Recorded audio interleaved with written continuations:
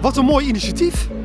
Ja, ben ik met je eens. Hè. We zijn dit vier jaar geleden voor het eerst opgestart. En het idee is om dit het netwerkevenement van de branche te maken. Heel knap georganiseerd. Uh, vanaf de uitnodiging tot de bewegwijzering. Uh, ontzettend aardig. Het is eigenlijk uh, een heel dorp gebouwd als thema. En je hebt eigenlijk het gevoel dat je lekker op het strand staat.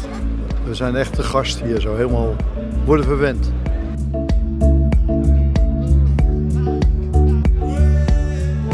Het doel is dat onze, onze klanten en onze partners in business met elkaar kunnen, kunnen netwerken. En dat faciliteren we. Bovema is altijd gezellig. Uh, maar het is heel leuk om gewoon met mensen uit je eigen branche gewoon uh, te praten, oude bekenden ontmoeten, nieuwe mensen leren kennen. Van niet iedereen weet de naam meer, maar ja, wel andere mensen ontmoet. Je spreekt mensen, collega, rijschoolhouders, je spreekt mensen van de Bovema, mensen die je vaak aan de telefoon hebt, maar nooit in levende lijven ziet. En af en toe even wat kaartjes, kaartjes uitwisselen. Uh, ja. Eten verbindt altijd. Ik heb gesprekken gehad met mensen die ik echt nog nooit heb gezien. Uh, heel bijzonder. Echt, uh, echt een topavond.